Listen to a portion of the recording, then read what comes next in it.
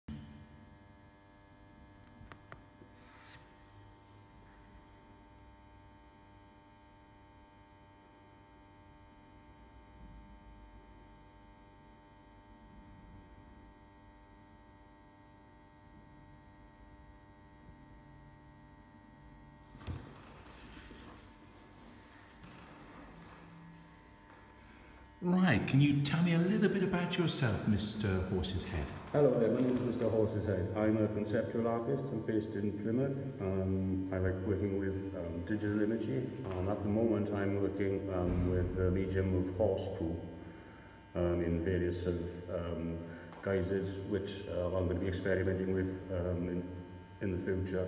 I'm hoping to get my own gallery space and to set up my own exhibition on a pretty regular